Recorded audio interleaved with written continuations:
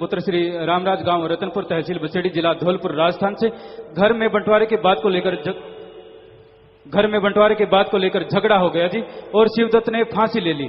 घर वालों ने उसे ढूंढा तो फांसी पर लटके शिवदत्त को तीन घंटे हो चुके थे। परिवार वालों की ज़ोर ज़ोर से रोने की आवाज़ से पड़ोस में हो रही राम बरन जी के घर नाम चर्चा से संगत शिवदत्त के घर आ गई, और परिवार का दुख देखकर सभी ने मालिक का नारा धन धन सतगुरु तेरा ही आसरा लगाया, और सुमरन सभी करने लगे।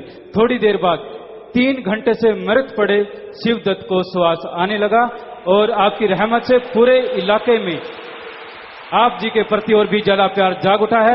इनका पूरा परिवार भी यहाँ पर आया है जी। सभी आशीर्वाद चाहते हैं। जी शिवदत्त जी का परिवार आया है। जी खड़े हो जाएँ बेटा।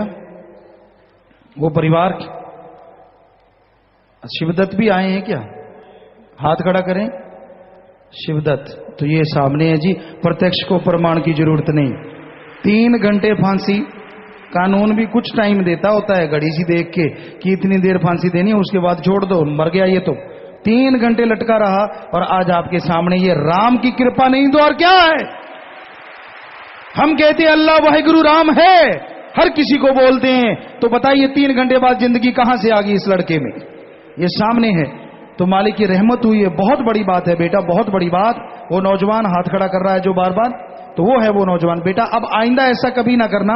भगवान आपके घरों में खुशियाँ बख्शे, मालिक ने जो ज़िंदगी दी है, जीने के लिए दी है, बुरा कर्म ऐसा कभी ना करना बेटा। सो मालिक रहमत करे, आशीर्वाद आशीर्वाद, प्रसाद ले लीजिएगा और हो सके तो जुम्मेवारों को मिलिएगा भी।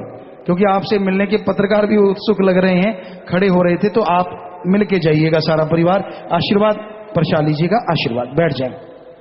हाँ सात संगत जी, बैठ जाओ। ये सच है, हम हम तो खाक हैं, चौकीदार हैं। करने वाला अल्लाह वाहिगुरु राम है।